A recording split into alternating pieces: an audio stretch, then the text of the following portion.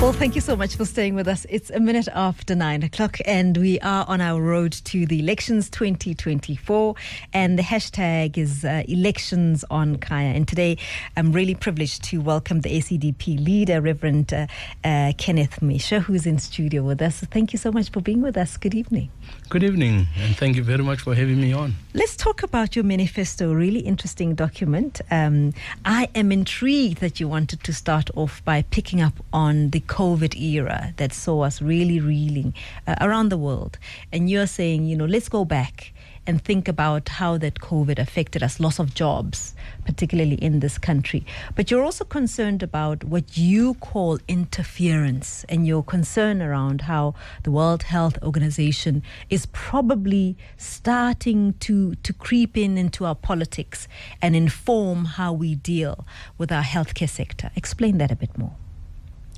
Well, all the years, the World Health Organization was giving advice and recommendations to nations that are aligned to them, but they were not imposing their opinions on nations. They were not forcing nations to take a particular viewpoint. As you know, that even during COVID, there were different scientists with different opinions. Scientists that were not in agreement. So now to impose an opinion of a group of people that are undermining the right of others to think differently, we do not think that is correct. It did not work in 2020 during that era, and we don't think it will work in the future. People have rights. South Africans has, have constitutional rights that must be respected by any organization that wants to deal with South Africa. Mm. So if South Africans uh, or the South, South African government is willing to give up their sovereignty.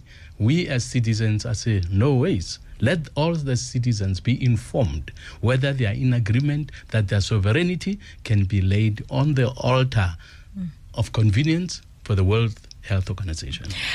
And, and, of course, that's talking a bit about um, vaccines and how scientists dealt with, with how we were uh, experiencing COVID. In terms of things like lockdown and things like that, how, how would you have preferred that we manage that? Well, lockdown obviously was wrong. I can even use the word evil because people were robbed of their assets, their cars, their houses, their jobs above them all. And uh, we saw suffering in a number of homes. And as you know, that when it started, government was imposing regulations that were ridiculous that they were even stopping uh, organizations that were helping the poor with food that you cannot feed them all right? And so people were starving unnecessarily. So lockdown it infringes of our constitutional constitutional right to movement. So anything that undermines our constitutional right must be looked at with suspicion including the lockdowns that are imposed and that the World Health Organization will impose if they get their way. That's why ACDP is saying others may be quiet about it. We care about the constitutional right of all South Africans. Uh, just to pick up on the issue of unemployment, as you said, people lost jobs. Um, you are you are advocating for entrepreneurship in this manifesto and saying that one of the things that you'd like to see happen is um, entrepreneurship being encouraged by some funding, some sort of funding of young people to get skills. And I wonder, because young people keep saying, we are skilled. You know, we, we are tired of these incubation programs. Will you do it differently or, or what are you proposing? Well, firstly, we'll encourage parents to uh, uh, mentor their own children. If you look at foreign nationals that are in the country, almost most of them, they know how to run business. Spaza shops that were not working, they know how to turn them around. Uh, even those that never even went to university because their parents taught them as they grew up. Now, I remember that when we grew up, that would go with our parents to the shops and say, okay, my girl or my son, I'm going so and so such a place. Please lock the store, close the store and such a such a time after balancing the books. So from young, even before uh, children were having university uh, uh, degrees and so on. Parents taught them. So now, if government wants to continue where our parents in the past were doing, they need to start saying, parents, let's work together. Mm. Teach your children. If you have a job, or if you have a business, it is your responsibility to ensure that your child knows how to count money with you show the child how to count money and trust your child that your child will look after that money. It's not only you looking after it, but your child can do that because we grew up seeing that.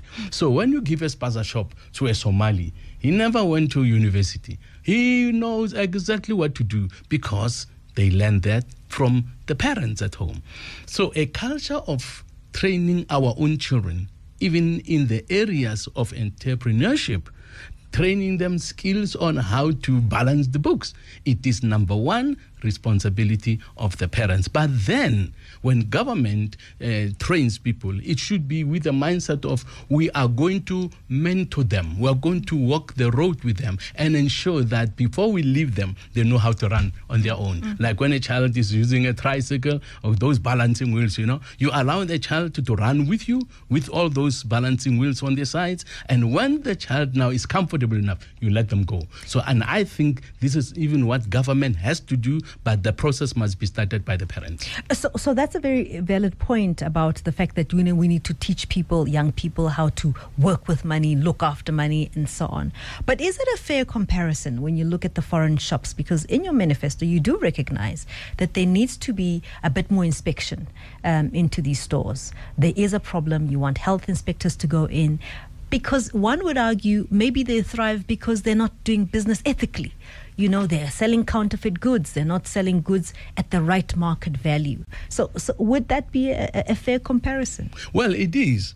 Um, there are those who uh, do business ethically, but the vast majority of them are unethical. Sure. And we cannot stop training our children uh, to compete with these guys, even who are unethical. Say, our children, what they're doing is not right. This is the right way to do it. And we show them how to do it. And I believe we can easily do that. We can even beat them. But unfortunately, our children are not taught how to do it. And when government take uh, young people through incubators, they don't hold their hands and run with them until they can run themselves. So, Reverend Meshoe, you also speak of funding particular mm. types of subjects mm. or degrees and mm. diplomas. Which are you referring to? Business has to tell government and universities we need people with these skills Okay? And once we know that government or business is saying we need more South Africans with these skills, then that government should come communicate that to universities and say, guys, there is a need. If we want to have graduates who are employable, focus on these subjects. Focus on this so that when they graduate, and actually some business will even already say, okay, we are going to employ you, we're going to employ you. And they give you pocket money for going there and doing some short courses with them or practice with them, okay, practicals with them. So these are things that we want to see happening so that we will not have uh, graduates that we are told are unemployable, mm-hmm. as we are having many of such today. You're saying end cadre deployment. Would you in the ACDP not deploy members of your party to certain positions? Well, the difference is to take people who are not skilled and promote them over people who are skilled just because they are your friends, they are your cadres, you were drinking together when you were wherever. So you favor them over the others. So the most important thing, we are looking at South Africa. We want to make South Africa work. We want to have all our people getting jobs. So if there is somebody who is qualified, uh, and we know that that position qualif- uh, needs a person of this qualification. I'm sure we can we can take a person to that without using the word cadre deployment, uh, deployment because of its negative connotations. All mm-hmm. right, it has negative connota- mm-hmm. connotations. Even big businesses do that. Okay, they are able to transfer manager from this bank to the other. Big business does mm-hmm. that. Okay, they are able to do that. So if you don't do it based on favoritism, friendship, relations. He's my brother, he's my sister. Even though he doesn't have the best qualifications, I'm going to give him that position. But the very definition would be you have in your party someone who's qualified, Mm. someone with experience, someone who can do the job. Mm. But you would prefer them over someone who's not in your party. Well, not necessarily. Okay. Interestingly, um, in one of our discussions with our, our colleagues, Yes. I once said to them, "This man is such a good finance minister. If we get an opportunity to govern, and he's still uh, healthy enough to continue with the job, we'll take him." Okay. When you look at the, what happened when uh, uh, we got our new democracy, 1994 we are told that um, Tata Mandela insisted that Derek Keys, as the Minister of Finance, must continue because he was doing a good job, and then put Trevor Manuel as his understudy. And Trevor Manuel ended up being, some say the best, some say one of the best finance ministers we ever had. Why? Because uh, Tata Mandela, in his wisdom, saw the need of having a mentor. Mentorship programs are lacking within government now, mentorship programs. But it happened in the past. It helped us. We benefited from that. At times, we wish that there would have been more mentors. Okay? And those people, obviously, unfortunately, were belonging to a party of the oppressors.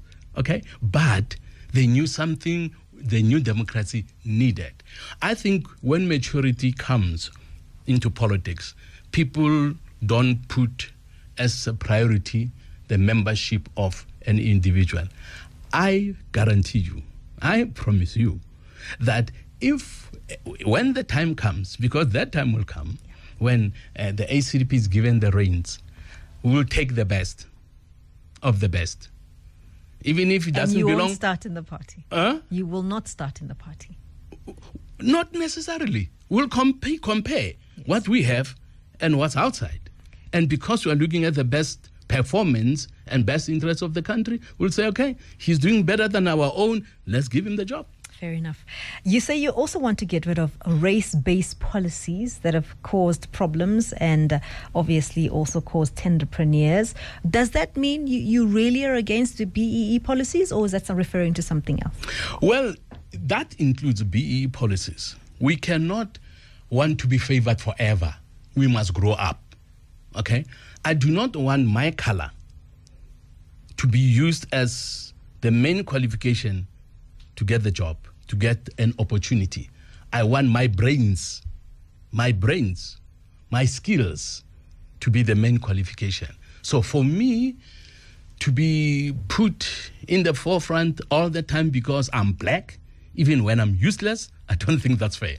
And so then what do you propose for redress? You speak of inequality and this country, as we know, has a big problem, inequality problem, one of the, the worst in the world. How are we going to redress uh, some of the issues that we have?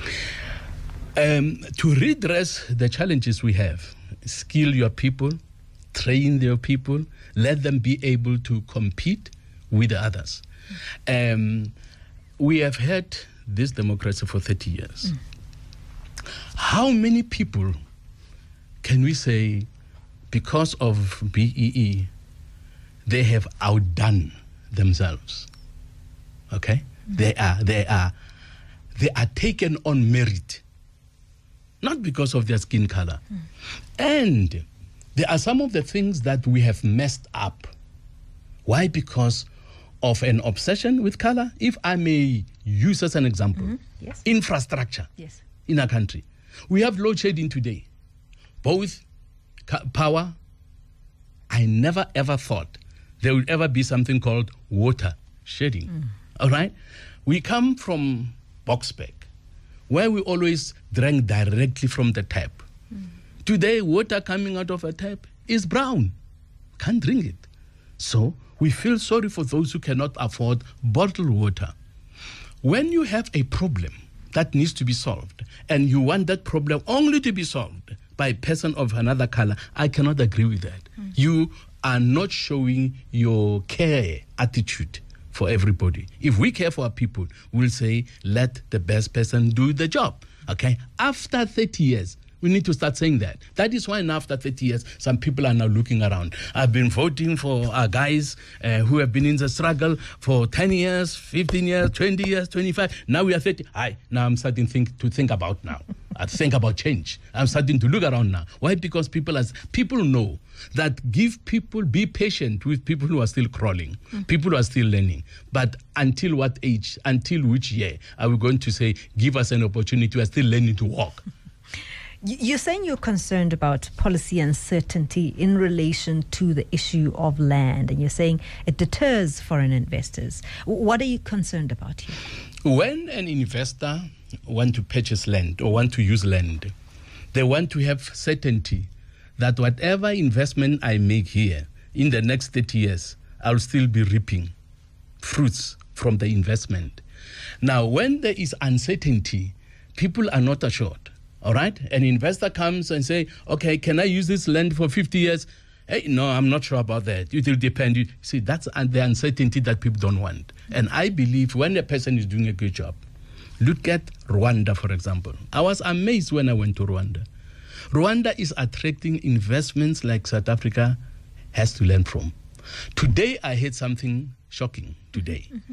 that um, Zimbabwe is going to offer South Africa clean drinking water. Yes, Musina. It will offer okay. South Africa some water. Now, S- South Africa has been providing for everybody. Now things have turned around. Now we have to look to Zimbabwe. Ah, woman. Ah, yeah, yeah, yeah, yeah. No, I don't agree with that. Something is wrong. We need to be the leaders in Africa. Why? Because of the technology we have in South Africa that's not found in other African countries. You're concerned about the the energy sector. Uh, you spoke a bit about that, as well as you know, Transnet and those other other other entities. Uh, just maybe explain for us, for those who have not been following, how you feel about this. In your view, how did we get here? With Eskom, Transnet, and the like. Well, one of the reasons is because of the issue of color. We threw out people with experience rather than pair them with learners, with people of lesser experience, so that the lesser experience will learn from the more experience. We didn't do that. We just threw, threw people out with their skills, technolog- technological skills, because of the color of their skin. You remember, I think it was around 20, 2010 when South Africa won, uh, Eskom won the best power utility in the whole world. It was not won by Japan, Germany, or America, but South Africa. Eskom was the best in the world. So, as our people took, took over, when we took over, we should have said, we want to remain the best in the world. Rather than just replace and fire people because of the color of their skin. Today, we are suffering. Today, we are having this load shedding that is destroying our food in the fridges, that is destroying our roads network, and many other things that have been destroyed, which I think is not fair. I think for the betterment of our country, let us use the best. Look at uh, what international countries are doing. They are poaching the best in Africa. They don't say we have their own. They compare. They say this guy is in Nigeria, this guy is in Ghana, this guy is bad. That skill we are lacking in that. Then they poach that person. No obsession with localization when it comes to producing what the people on the ground need. I am for localization. Let's start there. But people cannot go to bed hungry. People cannot remain jobless while we are saying localization. Our road to the elections 2024 and the hashtag is elections on Kaya. Listen, take us uh, into your confidence and uh, call us 063 688 That's where you can drop us a note, a voice note, and you can also call on 0866 086 Reverend Meshoe is here. We're looking at the ACDP manifesto. Any questions you have, he's here for you. We're here for an entire hour. Reverend Meshoe, thanks again for staying with us. Let's talk a little bit about what you are proposing would be the solution to get Eskom back on track. You're saying exempt Eskom from all the red tape, from all the procurement requirements. What do you mean by that? The people who want to bid for any for any position should be allowed, and secondly, the time time period. When we were in, as an example, in Rwanda, we heard that to register a business it takes them about less than 72 hours. Register a business from scratch. South Africa, because of red tape, how long does it take? Take months. And uh, rather than our leaders learning from African countries like, like uh, Rwanda, if you want people to come and invest, give them, listen to what they want, and give them what they want because you want their money, you want their investments. If they want um, what they apply for to be given within few days or few hours, do bend over backwards and give them. Why? Because you want investments that will benefit your own people. So red tape is a problem in south africa uh, well, well, then, how, how, are you going to deal with? Because essentially, red tape and some of these procurement measures were put in place to deal with corruption, syndicates that you refer to on the manifesto. So, so how are you going to balance it? How are you going to avoid this kind of corruption that we are seeing is endemic in these uh, state-owned entities without the red tape? N- not that what you're saying doesn't make sense. I'm saying, you, you, how are you going to balance it out? We need to learn from successful people we need to swallow our pride. If if people like Rwanda, I'll make Rwanda as a great example because I was there and I was surprised by what also. Okay, if they can do away with red tape and still be clean when it comes to governance, what are they doing that we are not doing? Well, we can all agree, are we not, that South Africa has a corruption problem, an, an, an endemic corruption problem across the board, not mm. just with uh, state-owned sure. entities. And so, as as a party that obviously is a Christian-based party, there's a bigger problem here. Sure. So, how how do we deal with that? Government should have a stick to punish the corrupt. What Government does it look like? Give pays lip service mm. uh, when they talk about dealing with corruption. We have members of cabinet, leaders in government who have been pointed out, exposed, that they are part of those who are responsible for the corruption we have. What is government doing about it? What's the president doing about it? He can talk about. We are going to deal with corruption. But when it comes to the rubber meeting the road, he doesn't do it. So in South Africa, that is why many criminals, and we are told international criminals, find South Africa as a good place to be at. Why? Because South Africa, they know that if you are found uh, doing corruption, you are going to get away with it. There are people who are millionaires because of corruption. Now, ACDP obviously would ensure that, firstly, people are rewarded for exposing corruption. Yes, you have a program for whistleblowers. Yeah. What does that look like? Um, if it is about finances, mm-hmm. okay, a, a, a, a, percentage, we say a percentage has to be given to a whistleblower, number one. Number two, whistleblowers must be protected because we see them as nation builders also. They are contributors that are not given the due that they deserve the, the tricky part about whistleblowers often, Reverend Meshoe, is that sometimes they become whistleblowers after having been part of the corruption.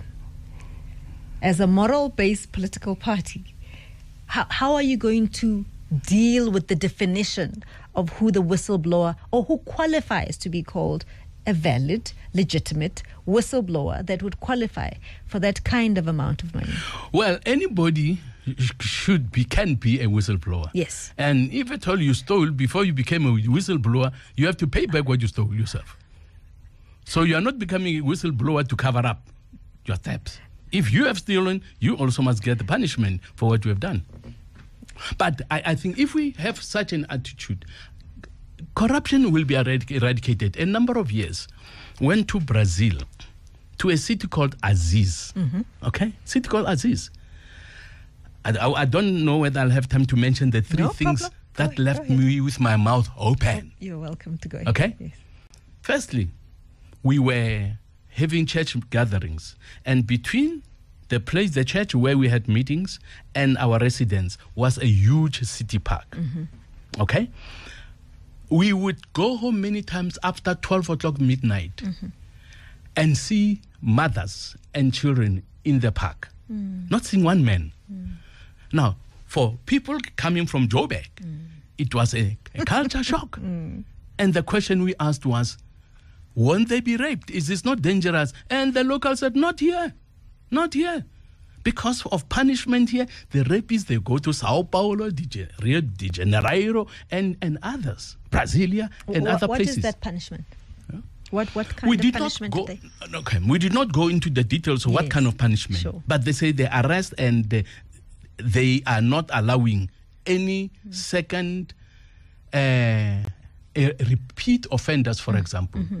to easily get away if they are arrested again. Mm-hmm. They said we are using severe punishment, as I said, but we didn't go into details. But the second thing that shocked me, Yes. one morning on a Saturday morning, a man came with a push me before I go car, skorokoro. All right, he parked this car in front of our residence, mm-hmm. okay, because the car did not have a self starter.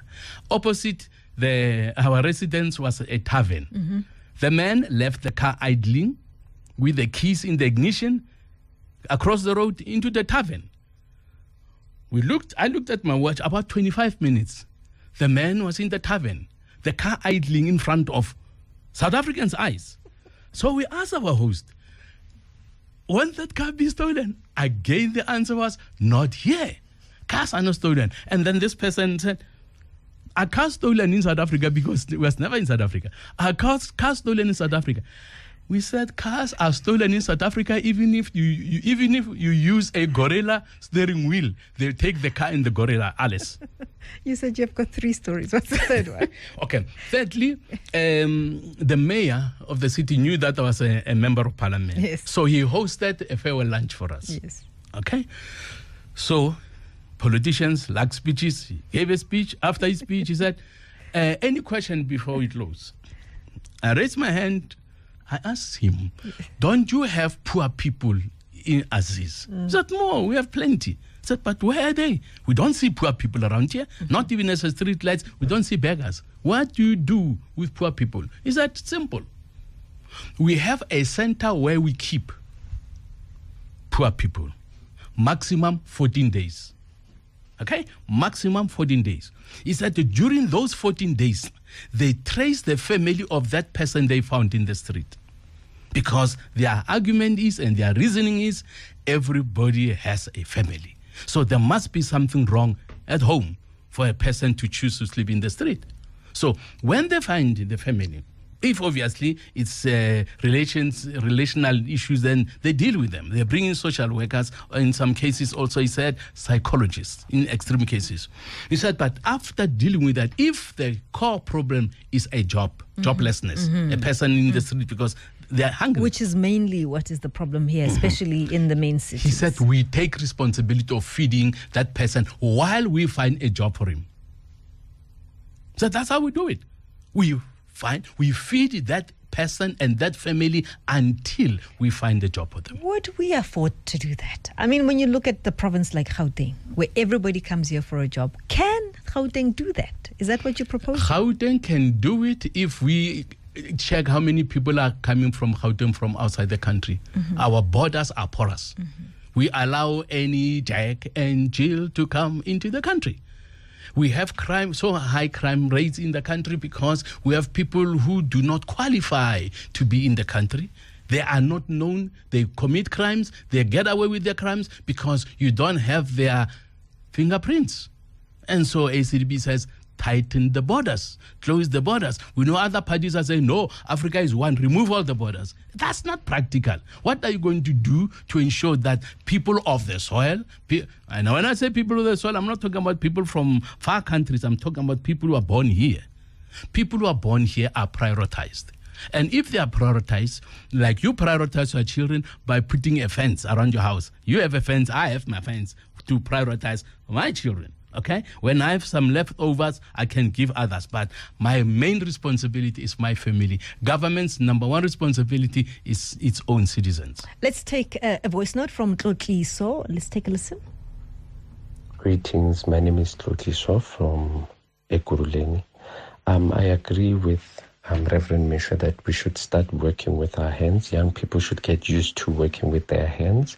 Um, if you look around areas like Wadeville and Germiston, um, they look like ghost towns now. We can't even make matchsticks or even toothpicks here in South Africa. We have to always import them.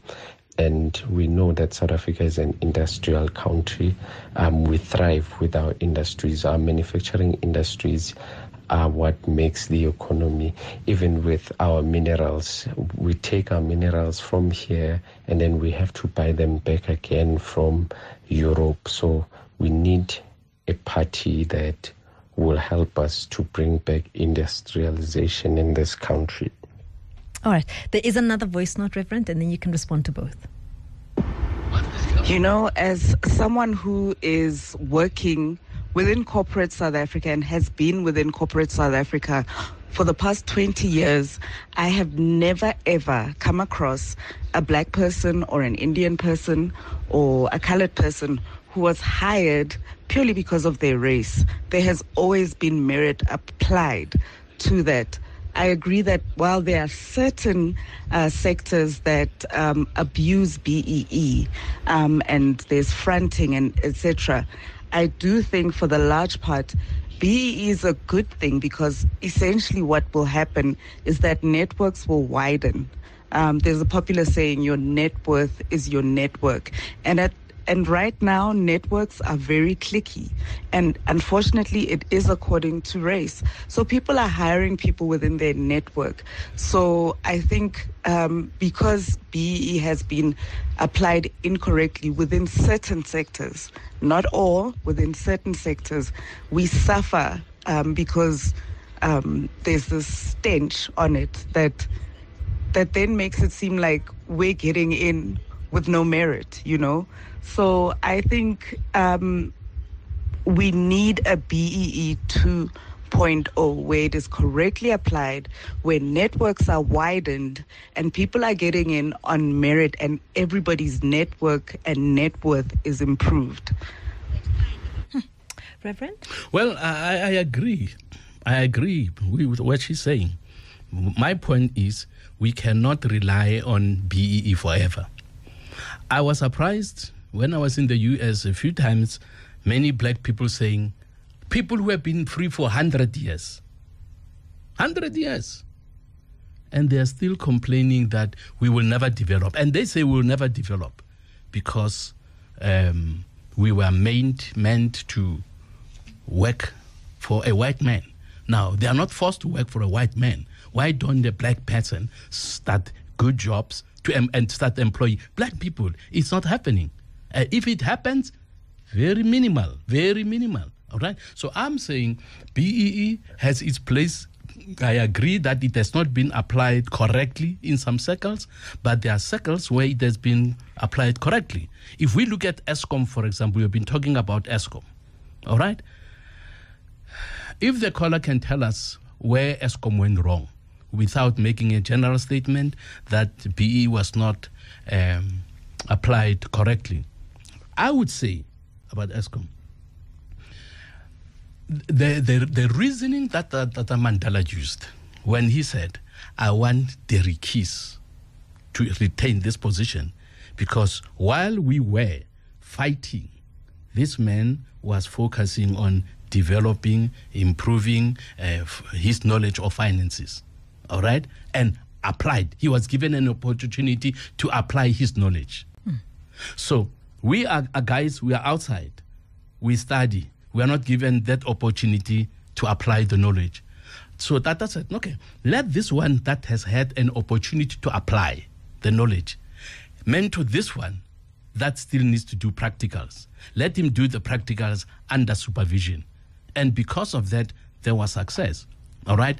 We cannot forever, I would not agree, and everybody has the right to do their own opinion, but I would not agree that forever I want to be favored because of the color of my skin. I prefer to be favored because of what is in my head. I am skillful, I am able, and I know that if I'm put next to somebody of a different color, I will compete to people's surprise, okay? Because I'm skilled. But now, Tlotliso. Tlotliso was correct. Mm-hmm. I want to appreciate what Tlotliso said. Mm-hmm. when we grew up, when we were still in school, mm-hmm. we were trained to work with our hands. Mm. All right? We were trained to work with our hands. While we were in primary schools, we were cleaning our own classrooms. Mm. We were we knew, we knew how to plant cabbage, spinach, carrots, you name it. We learned that when we were at school. So if parents were not working, we would never go hungry because we are taught mm. to use our hands, something which is lacking in our days. When um, the need for children to do cleaning and clean the old classroom was removed, we were told they must focus on their studies. The same people need 30% to pass, meaning that removing them from doing manual work has not made them better students. Mm. I've got to get through. There's so many questions here I'm looking at. Um, Wendy Isaacs is asking. Um, okay, let me start. There's a lot of questions here. She's saying, Are you seriously selling the idea that the SA embassy can be moved to Jerusalem and uh, how will you do that? Um, she goes on to ask that um, also, please explain um, your your position on the genocide case at the ICJ, and uh, how do you think that the issue of the Palestine will have lasting peace?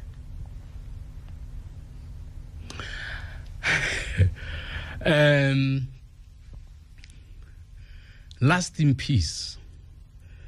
If you want lasting peace, you need to agree that everybody's right to exist must be respected. You and I cannot be good neighbors if I refuse or I deny you the right to exist. Look at the manifestos. Look at uh, what Hamas charter says, PLO charter says, that they will never accept the right of Israel to exist. That has been removed from their charter. No. You know that. No. Yes, it has. Okay, let's talk about that. It has been removed. When was it removed? I'll, I'll revise that. I'll, I'll check that again because the I last time I promise promise you, it's no longer there. Okay, no, no. Yes. All right, I'll check that again and you, I'll owe you. You'll owe me a sweetie. You tell me what flavor, you'll get it. you'll get it. Um, when a person, but I, I still take it with a pinch of salt. What do I take with a pinch of salt? Now, the mantra from the sea, The from the, the river sea. to the sea. Mm-hmm. Where does that leave Israel? Remove them from the face of the earth. That's what it means. So, how do you turn around then and say, let's live together in peace? It's a contradiction. So, there is deception somewhere. And I think there needs to be honesty.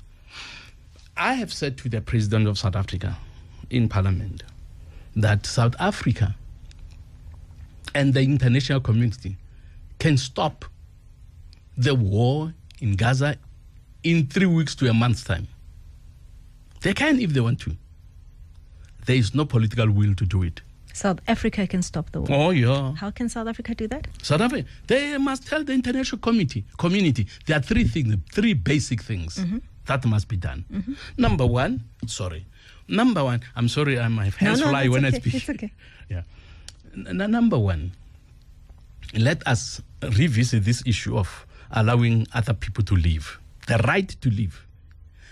In South Africa, every tribe has the right. If somebody can say, uh, maybe Vendas or or Xhosas should not be allowed to live, there will be a war, and I will defend whoever is told they don't have the right to live. Okay, let's have the people give everybody the right to live. Number two, the reason for the war was to stop or to, to get back the hostages. Pressure, I've heard South Africa, they've said it once or twice. I think there's been more from the river to the sea than release the hostages. Okay? If we are serious. say this was the reason, remove the reason for fighting. Was that the only reason there is this war? Really? No, no, no, no. I would not say the only, mm-hmm. but I'm saying it was the main reason that was spoken. We want the hostages to be returned. What stops the the international community or South Africa to say release those hostages? What was the reason the October 7th actually happened, in your view? That's a difficult one because I don't know what was in the minds of those guys. Mm-hmm. I don't know what was in the minds of those guys. Okay, it happened. It was very unfortunate. It was very unfortunate, and the retaliation also was also very unfortunate. Okay, but the two things: release the hostages, and also remove the tunnels. Okay, none of us here can sleep peacefully knowing that there's somebody under your house who is come who wants to come in. But who built the tunnels, Reverend Meshoe? Who built the tunnels? Who built the tunnels? You know who built the tunnels. Okay, who built who- the tunnels? okay. You know Israel built the tunnels. It's a fact. No, not all of them. Not Yes, all of them. Not not all of them. Okay, not all of them. All right, not all of them. And the purpose for which they were built in the first place, Mm-hmm. it was not for the purpose of attacking people, causing wars or causing fightings and kidnapping of innocent people. That was not the purpose. All right, no nation can do that. So okay, and build that and say, come. I, I, I, I, have not looked into that. I can look into that and come back, and then you get another sweetie for that one. All right. Okay. So these are the two things, and but I think the third one, the third one, I think that should happen is that um, people should be told that uh, everyone, okay, that's the second one. Everyone has the right to exist, but uh, and then there there should be no charter that says somebody must be removed um, from the face of the earth, and then. Uh, What must Israel do? Israel must negotiate. Yeah, Israel must negotiate. They must show a willingness to negotiate. And I think, okay, this is me thinking, that if their right to live is guaranteed, we'll see a different Israel. I've never heard anybody say that. That's just my thinking. Because you are taking the right to fight, to defend your border.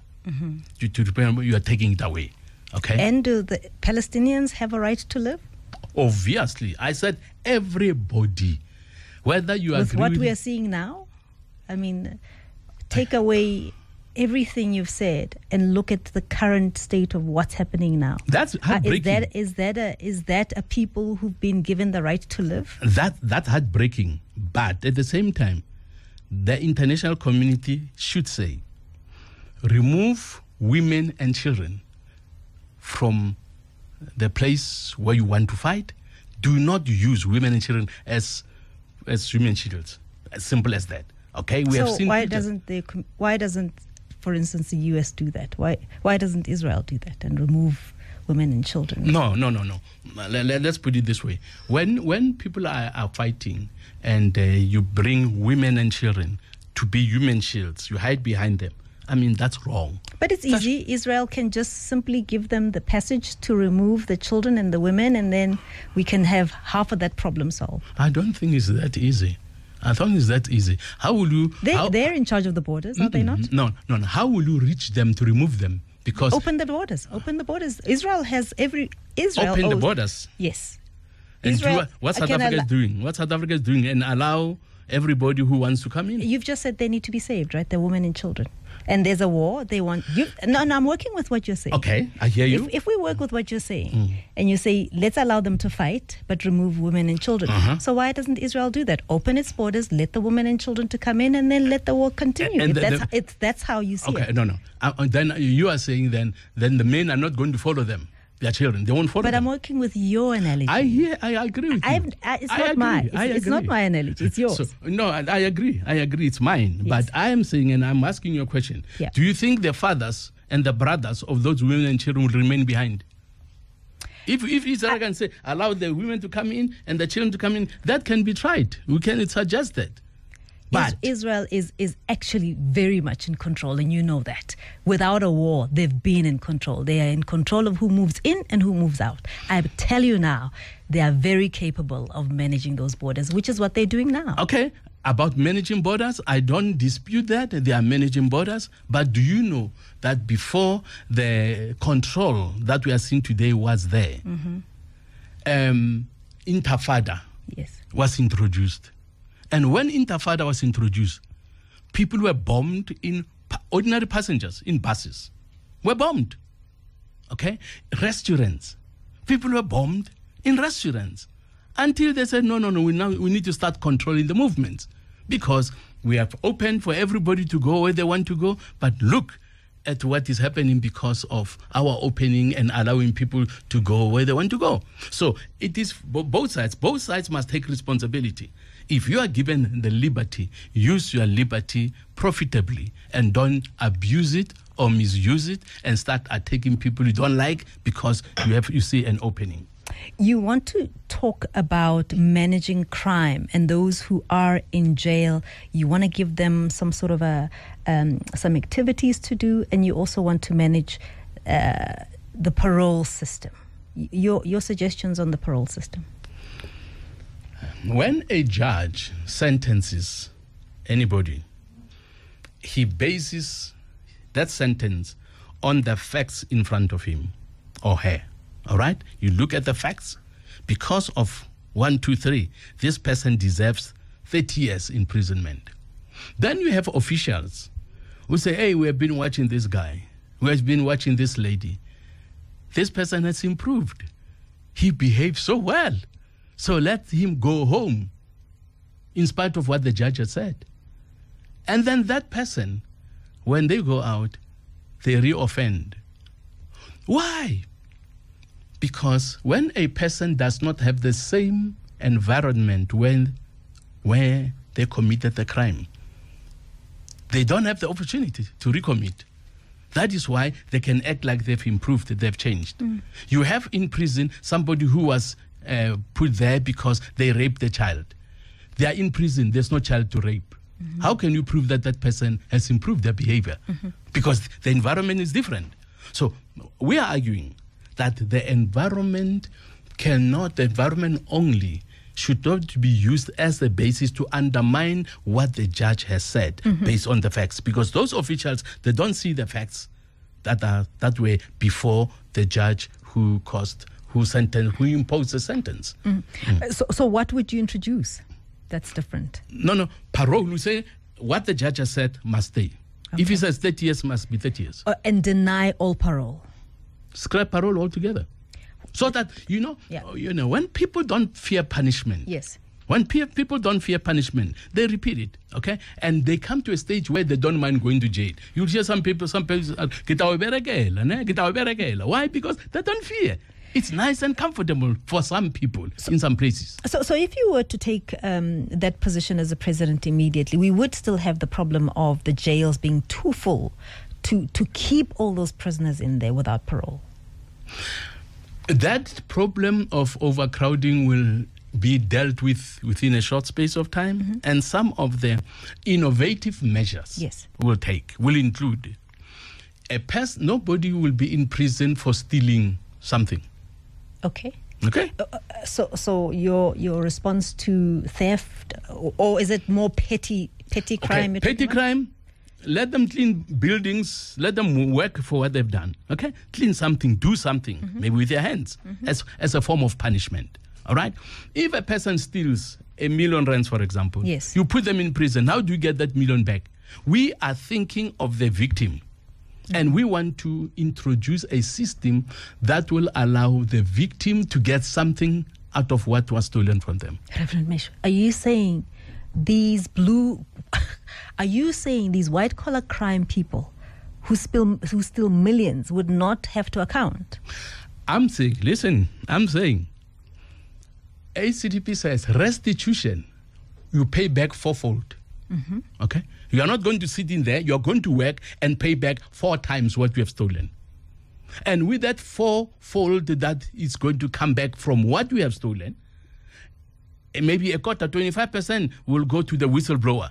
25% will go to the man who worked hard to arrest the, the, that person. The money is used 25% for ensuring that that department is skilled so that they will be able to do what they are doing. But lastly, double the amount of the one who, the victim. The victim must get something back from what they lost. That means corporate corporate South Africa would get away with a lot no, because they would just pay. No, they no, would just no, pay, no, no. and no no one will have to do any jail time. If you've got the money and you know that you're just going to be asked to pay back that money, that's what you'll just do. no, no, no. If we realize that the people are doing this continually, deliberately because they have money, then the sentence is going to be doubled. I mean, I- I- it- I'll give you an going to be example. increased, yeah. Steinhoff. What what would you do there?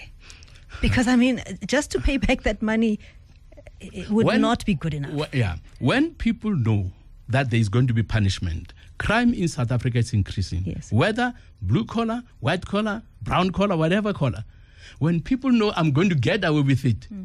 It becomes a culture. Mm. There is no fear of punishment. Mm. But when people know that I'm going to be punished mm. severely if I'm found with this, then they are going to shy away from doing that. We want to bring back the fear of punishment. Thanks for staying with us. I said I'll take your calls 086 959 I'll also listen to those voice notes. Let's take one, Reverend Meshoe. Hello, uh, Miss Mutene. I think umfundisi lona mos nje is just uh, saying izinto naye angazazi mos ke. And then which means yena he supports genocide leyenzeka eGaza ne. But ke, okay, I don't want to dwell in that. Just ask him and then from there what is their position as the party on BRICS? What are they what is their take? What is their take on BRICS? Reverend Meshoe, your take on BRICS? No problem with BRICS. It's a partnership um, that benefits countries that are within that partnership, and uh, we don't have a problem with it. All right. Uh, here's another one. Muso is asking, kindly ask Reverend Meshoe that will be. Um, will be open will he be open to drastically limiting international brands like Nike etc in favor of local brands since he advocates for entrepreneurship Um, if it's um, limiting people's rights, that's something that will shy away from. Okay? People have the right to choose.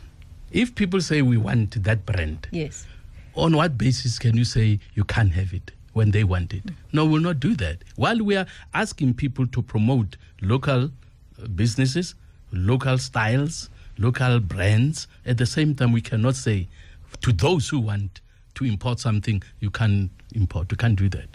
Tapelo here on X is asking, please ask him what his party has contributed since being in parliament, or are they just there in jail? Opposition parties obviously uh, don't have opportunities to contribute to be compared to a government because they don't have the resources that government had. People should see when a party has grown or when a party has uh, is in government and be given the responsibility and the privilege to rule what the party can do. But the fact is, um, we can talk about the in contributions that we've made, we are making in parliaments, in debates. I mean, there are many, many things. Let me mention one, maybe, Yes. that has benefited many South Africans who are still saying thank you today. The president of South Africa once said, everybody in South Africa, he started by saying nobody's going to be forced to take the vaccine. Okay? Then he somersaulted and he said, no, we want mandatory vaccinations. And I challenge him in parliament. As that Mr. President, you can't do that. Why? Because even though we know that God wants everybody to be saved, but God does not force everybody to be saved. So government has no right to force people to take a vaccine if they don't want it. Give people a choice. So we believe in choice, and that's what I said. So it is one of the things that I, I don't know, I don't, don't want to talk about your status, but many people who did not want to be vaccinated are saying thank you for the step you have taken to ensure that we are not forced and our children are not forced to take the vaccine. All right. Land with or without compensation? Definitely with compensation, because when if somebody has improved the value by working with their hands, that value has to be recognized, it has to be acknowledged, and people have to pay for that value that I contributed. If I increase, uh, I build, I want something for what I've built. Reverend Meshoe, my last question why would anybody want to vote for you? Tell us in maybe one minute why we should vote for you. Our slogan, as you know, is SOS. There is an, an emergency cry, help. Okay? S, people want service and delivery is very, very short in getting to people. We want people to get proper service delivery. We want people who have been promised uh, water to get clean water. It is inexcusable that after 30 years, we still have people who share water with animals. That is definitely not on. So ACDP is saying service, we want to give people good service. Then order. Oh, order. There must be law and order in the country. You cannot have the mafia live and the Chinese gangs and other gangs leave their countries to come here because anything goes here. All right, borders are open. You can come in anytime, day or night. We want order. Everything must be done orderly. On the roads, obviously, when we say keep left, people say, have said, but if you say we must have rights, if I want to drive on the right, I must be allowed to drive on the right. I said, no, no, no, that would be disorderly. If we say left, left is left. You are not from America. If you come from America, you drove on the right, here is left, okay? We want order in society. And then the last is safety, security. We want to be safe human beings must be safe if they have a responsible government. The number one priority and responsibility of any government is to secure the lives of its citizens. If government fails to secure the lives of the people, women are raped all the time, children are raped, they are abducted, they are kidnapped, and they are never found. Something is wrong. People are not secure. ACDP says bring security back to the country, and that's what we want to do. ACDP leader, Reverend Meshoe, thank you so much for coming through. I really appreciate it. Thank you very much for having me tonight.